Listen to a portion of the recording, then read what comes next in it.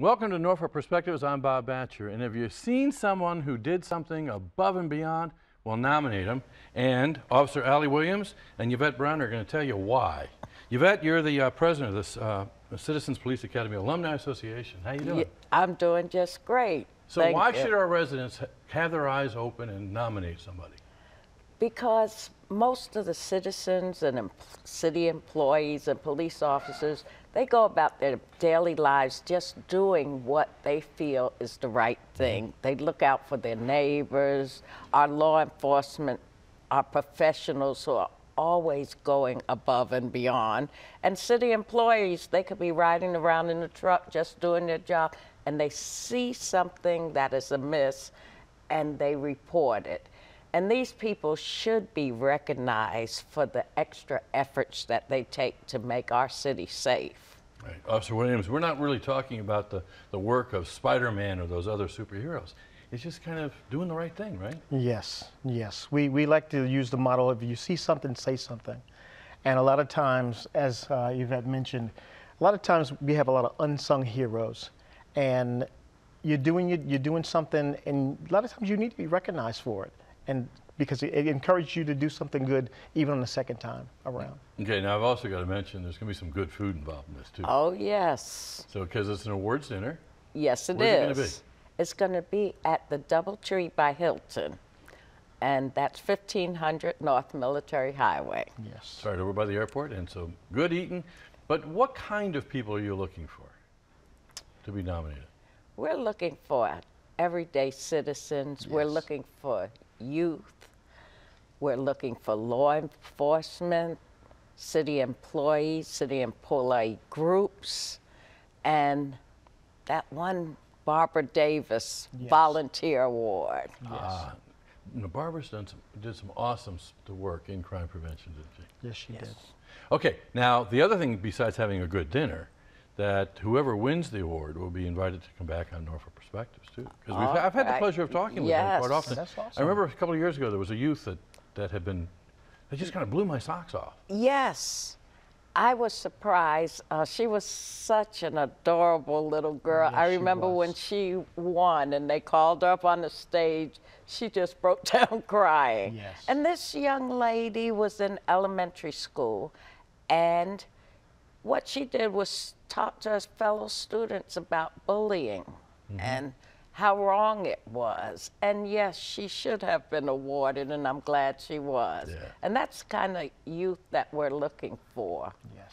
So, officer, it- kind of by recognizing people who have done things in the past, we're also kind of sending a message out that it's important to get active in crime prevention. Because it really begins with the people who are watching our show. The citizens, yes, indeed, Bob.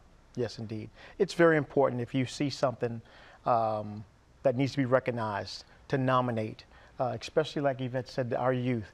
A lot of times they're doing things that it just goes unrecognized.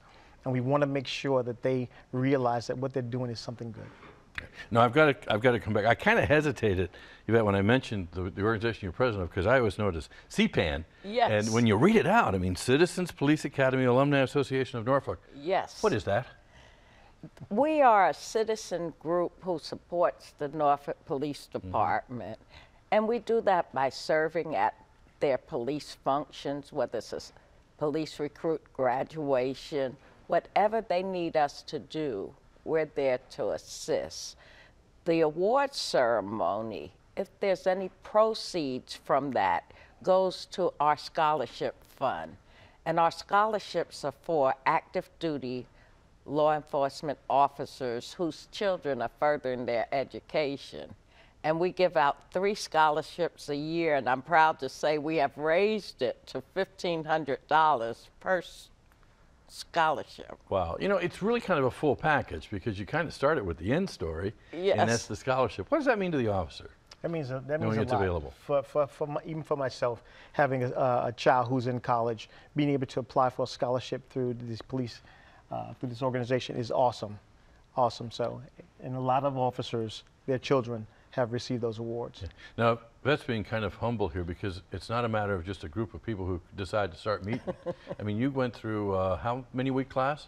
Well, when I went through it was 12 weeks. Now it's 13 weeks, and it's one night a week, and it's from 6:30 to approximately 9, 9:30. And anybody who's a resident of Norfolk can sign up and go to that, right? Yes, whether you can either live or work in the city of Norfolk, and you, as long as you're not a felon, you you may Mm-hmm. attend. Now, I, I knew somebody that went through, and the whole reason she went through is because she could shoot at the shooting range. But there's more to it than just that, Yes, right? it a lot is. more. It's awesome for uh, citizens to go through that the class because it gives you a better perspective of what we do as police officers.